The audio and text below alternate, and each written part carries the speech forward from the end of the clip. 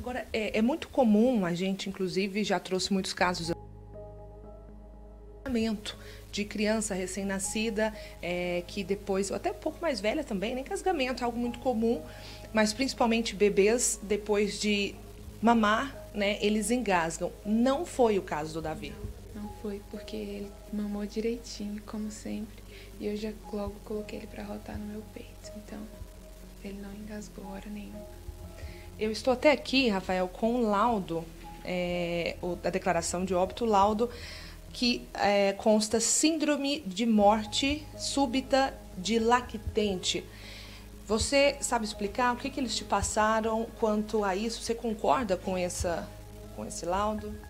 Eu posso até concordar porque eles disseram que é algo muito obscuro, que eles não conseguem prever em exame, não conseguem ainda descobrir o que, que é. Então, eu concordo justamente por causa disso. Eles abriram ele, viu que não tinha leite na garganta para ter engasgado, viu tudo direitinho, não tinha nada. Como que fica o coração da mãe? Com muitas dúvidas, imagino eu, né, Lana? Eu não sei nem o que pensar. Não passa nada na minha cabeça. Eu coloquei as coisinhas dele para dormir comigo ontem, que ele tinha mania de dormir comigo no ninho. Então eu coloquei lá ontem e eu fiquei lá. Chorei a noite inteira. Não consigo ainda acreditar. Eu fiquei duas semanas só com ele, então. É, a Lana disse que ficou duas semanas.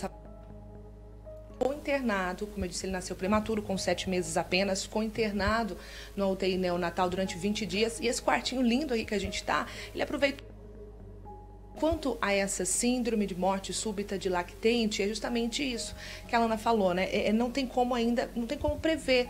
É, não, não foi engasgamento, não tinha leite no estômago do bebê, então realmente não foi sufocamento pela amamentação, como a gente vê sempre. Então ficam muitas dúvidas, né? E gera, infelizmente, muitos julgamentos também, né, Lana? O que, que o pessoal tem dito quanto a isso? Falou que eu sou uma mãe responsável por por eu ser nova, eles me julgaram muito por eu ser nova. Falou que eu tava é, negligenciando o bebê, falou que eu não coloquei ele para rotar, que eu deixei ele engasgar. Até culpou a minha mãe, porque ai, a avó que cuidou. Porque... Perdemos o contato com a nossa repórter Ana Paula. Ana Paula está com a mãe, Alana, falando nesse momento. Eu fico indignado em relação